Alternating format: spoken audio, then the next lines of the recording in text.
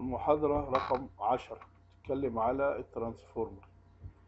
فيها إثباتات كتير إحنا مش مطالبين بالإثباتات بس طبعا لازم تشوف الإثبات علشان تقدر تستخدم القانون في الآخر. إحنا هنتكلم على حاجتين اتنين. ال linear transformer وال ideal transformer اولا ال transformer هو إيه؟ هو المحول الكهربي. له ثلاث فوائد.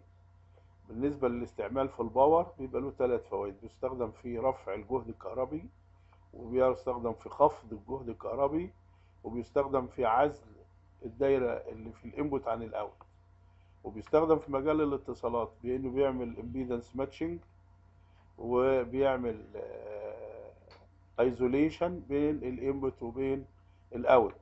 وبيستخدم في مجالات أجهزة التحكم بيستخدم في قياس التيار وبيستخدم في قياس الجهد. لو جينا لتعريفه كده ببساطة هو عبارة عن device أو جهاز مبني عمله على نظرية ال magnetic coupling يعني إيه ال magnetic coupling يعني هو بيحول electrical energy إلى electrical energy بس بنفس التردد. اوعى تنسى دي. يبقى بيشتغل نفس التردد يعني إيه؟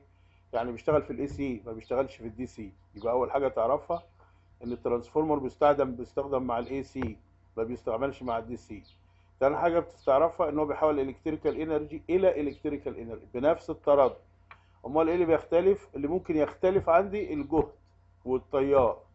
يا إما أرفع الجهد وبالتالي هيقل التيار يا إما أقلل الجهد وبالتالي هيرتفع التيار. لو أنا برفع الجهد أو بقلل الجهد يبقى أنا محتاج انقل ال electrical energy إلى energy تانية وبعدين أحولها تاني لل electrical فهو بيعمل إيه؟ بياخد electrical energy يحولها ل magnetic energy وبعدين يحول ال magnetic energy إلى electric energy بال level الجديد بتاع الفولت والتيار ال transformer بيستخدم زي ما قلنا في ال communication وفي ال power circuit في ال في ال communication بيسموه دايما linear transformer بيسموه دايما linear transformer الاي اللي بيستخدم في ال power بيسموه ideal transformer إحنا بنقول عليه هنا ideal transformer هو اسمه الفعلي power transformer بس إحنا هنقول عليه ideal هنا عشان إحنا بنهمل حاجات في الإثباتات الرياضية فبنقول عليه ideal عشان كده. بنقول ال ideal transformer أو ال power transformer بيبقى له core ferromagnetic core من مادة قابلة للمغناطه وملفوف عليها اتنين winding. ملفوف عليها اتنين winding. ملفوف عليها winding بتتصل بال supply بنسميها ال primary winding. يبقى عبارة عن ملفين. ملفوفين على core حديد أو core قابل من مادة قابلة للمغناطه ال coil اللي متصل بال supply اسمه primary winding وال coil اللي متصل بال load اسمه secondary winding كل ملف كل coil له مقاومة آه علشان عبارة عن سلك كهرباء يبقى له مقاومة. بالنسبة لل primary اسمها R واحد بالنسبة لل secondary اسمها R اتنين وله آه وله inductance لأنه ملف. فال inductance يبقى له L واحد في ال primary وله L اتنين في ال secondary عشان ال L دي هتديك ال X وبين ال two couple ال two coils علشانهم على magnetic core هيبقى في إيه؟ في mutual بينهم في mutual coupling بينهم. زي ما أنت شايف الرسمة اللي قدامك أهو دي رسمة ال transformer. آه ال transformer اللي قدامك ده ال primary هو اللي ناحية ال source ومكتوب عليه source واللي بيتوصل بال supply اسمه VS وال supply دايما لازم له impedance إحنا اتفقنا ان إحنا في ال AC بنقول impedance ما بنقولش resist يبقى له ZS الناحية الثانية اللي على إيدك اليمين باين ال load قدامك اهو ZL وبعدين الاثنين coil متمثلين بكلمة transformer اللي بيمثلوا ال transformer j omega L 1 و j omega L 2 يبقى لو واحد قال لك ال transformer بيغير التردد تقول له لا. الايه مش بتعتمد على ال magnetic فيه آدي ال reflected impedance آه بعد كده بقى نيجي لل ideal transformer واللي إحنا سميناه power هو اسمه الفعلي power transformer وبيقولوا عليه transformer على طول كده. ال ideal transformer بيتكون من اتنين برضو magnetic turns أو magnetically turns أو اتنين coil ملفوفين على iron core يعني core مصنوع من من الحديد كمادة مغناطيسية. الملف الاولاني له عدد لفات اسمها N واحد والملف الثاني له عدد لفات اسمها N اتنين. في حساباتنا هنعتمد إن ال L واحد ال self inductance بتاع الملف الأولاني بتساوي ال L inductance بتاع الملف الثاني بتساوي ما لا نهاية. ده مجازا في الاعتبار عشان كده سميناه ideal transform دي كله عشان نبسط معادلات الرياضة. على ما نوصل للقانون وبعد كده بيبقى بت- بترجع للايه لل actual value هنا بيقول لك ال coupling coefficient اللي هو الجذر التربيعي اللي واحد في الاثنين يعني هيبقى بواحد. يبقى دلوقتي الفرض اللي إحنا هنفرضه عشان نحل الرياضة ال coupling coefficient K بواحد اللي هو جذر L واحد في L اتنين L واحد بتساوي L اتنين بتساوي infinity وإن إحنا بنهمل ال losses إذا coil losses due to parasitic resistance are negligible يعني كأننا بنقول جايبين ملف ملوش مقاومة. جايبين سلك ملوش مقاومة. ده كلام أجيب ال Z ab القانون اللي إحنا لسه كنا جايبينه هناك اللي هي طلعت Z واحد واحد ناقص Z S زائد أوميجا تربيع M تربيع على Z اتنين اتنين. أو طلعت R واحد زائد J أوميجا L واحد زائد أوميجا تربيع M تربيع على R اتنين زائد J أوميجا L اتنين. ال Z اتنين اتنين إحنا عارفينها انها عبارة عن R اتنين اتنين زائد J X اتنين اتنين. وجبنا ال Z ab يعني نفس الكلام ده مش هيفيد معانا في حاجة في إن إحنا نوصل غير إن إحنا نجيب ال X ab وديت مش هتفيدنا دلوقتي في حاجة في الإثبات. تعالى نعرف حاجة اسمها ال scaling factor إحنا بنقول إن الملف بتاع ال primary عدد لفاته N واحد الملف بتاع ال secondary عدد ملفاته N اتنين لو أنا قسمت N واحد على N اتنين بنقول عليها ال scaling factor. تاني كده؟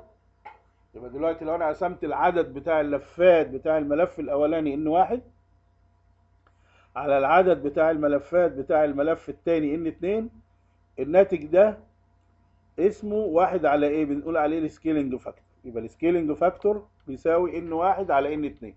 عدد ملفات ال primary على عدد ملفات ال secon. هلاقي ال Z ab بتساوي إيه؟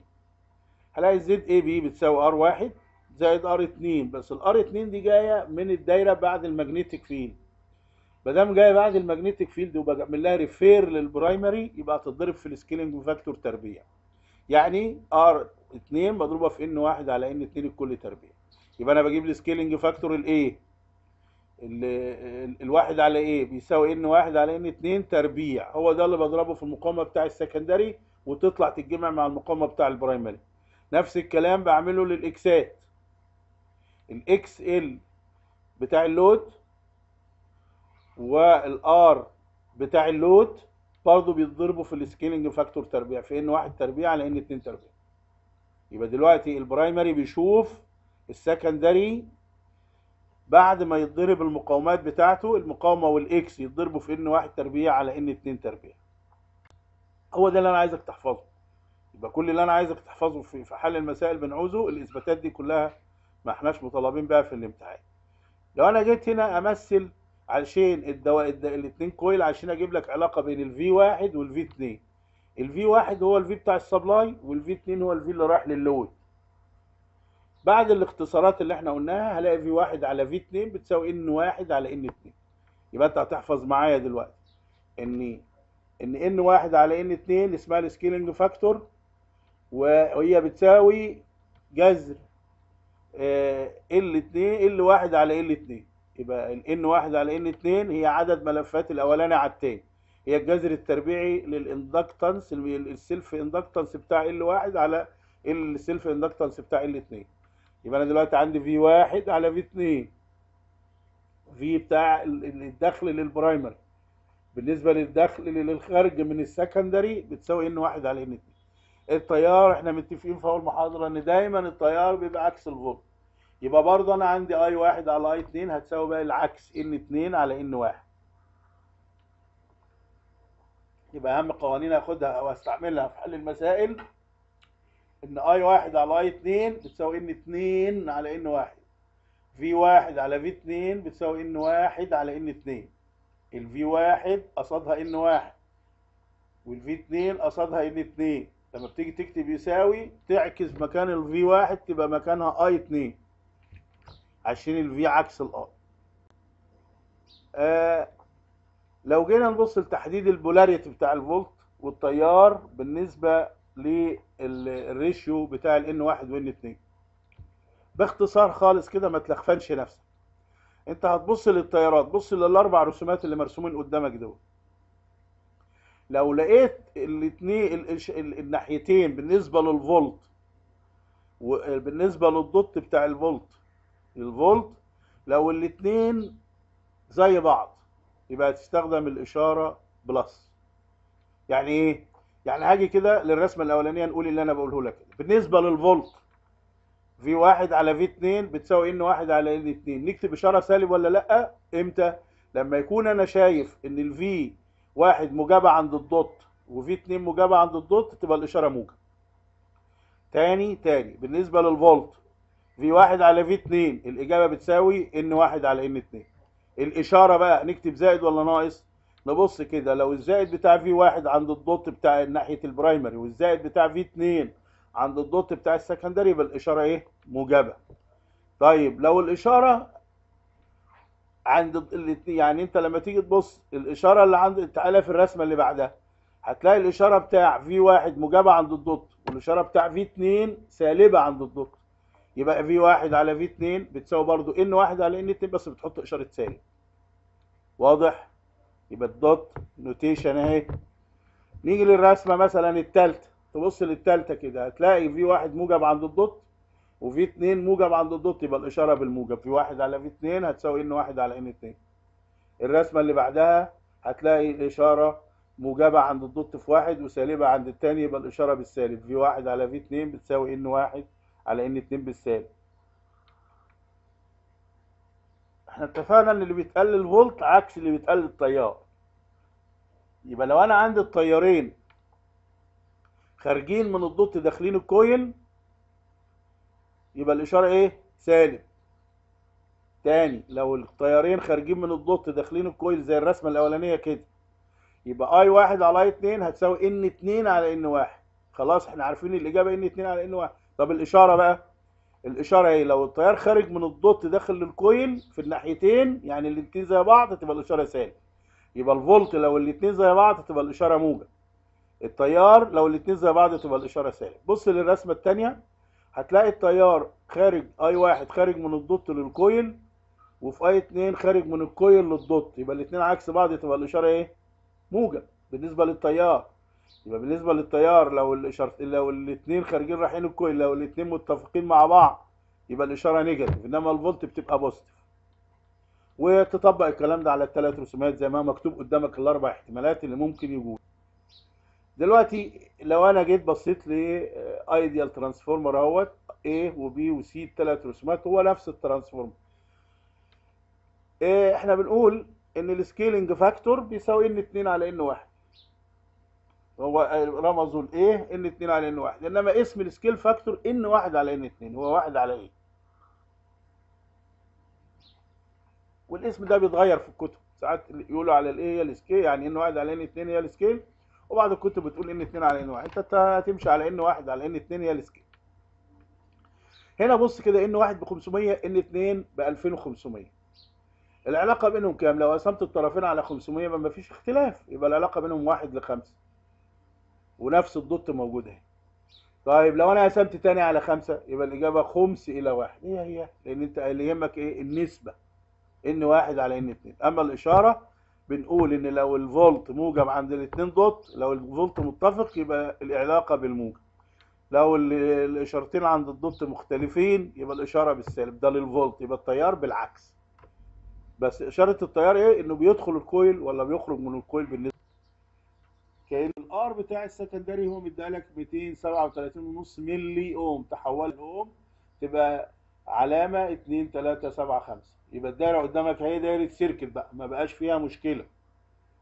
انت دلوقتي شفنا اتجاهات الإشارات قلنا إن V واحد على V 2 هتساوي N واحد على N 2 هتساوي I 2 على I 1 الإشارات positive بتاع النسبة طيب نكتب ال phasor كده لل loop الأولانية. ال loop الأولانية ال phasor يبقى ال V supply ل 2500 و angle zero هتساوي ال 25 من 100 زائد j 2 مضروبة في I 1 زائد ال V 1 أدي ال loop الاولانيه ال loop الثانية بتقول إن ال V 2 بتساوي ال I 2 مضروبة في علامة 2 3 7 5 زائد j 5 من 100 يبقى ال V 2 بتساوي آه، I 2 مضروبة في علامة 2 3 7 5 زائد j 5 من 100 أدي ال loop الثانية النسبة بتاع ال transformer V 1 على V 2 بتساوي 10 V 1 على V 2 بتساوي 10 على 1 يبقى V 1 بتساوي 10 V 2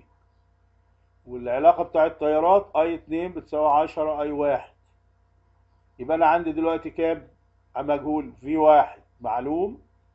مش معلوم. V 2 مش معلوم. I 1 مش معلوم. I 2 مش معلوم. يبقى كام مجهول؟ 4 يبقى أنت محتاج كام معادلة؟ محتاج 4 أول معادلة عندك بتاع ال loop الاولاني المعادلة الثانية بتاع ال loop الثانية إن V 2 بتساوي آه، علامة 2 3 7 5 زائد j 5 من 100 مضروبة في I 2 ال equation الثالثة V 1 ب 10 V 2 ال equation الرابعة I 2 ب 10 I 1 صفيهم بقى أنت في الرياضة مع بعض براحتك. هيطلع إن ال I 1 ب 100 وزاوية ناقص 16 وهيطلع ال V 1 هتطلع ب 2427 وزاوية سالب 4 مطلوب منك تكتب دول في صورة الإيه؟ في صورة ال instantaneous value بتتكتب إزاي؟ ال 100 و angle ناقص 16 بتتكتب 100 cosine ال omega أنت عارفها كانت ب 400 في رأس المسألة يبقى 400 cosine 400 t ال angle اللي عندك في ال phasor ناقص 16 تكتب هنا ناقص 16 ال V 1 هتتكتب إزاي؟ 2427 cosine 400 t هنا ال angle بالسالب ناقص 4 يبقى هنا ال angle بالسالب ناقص 4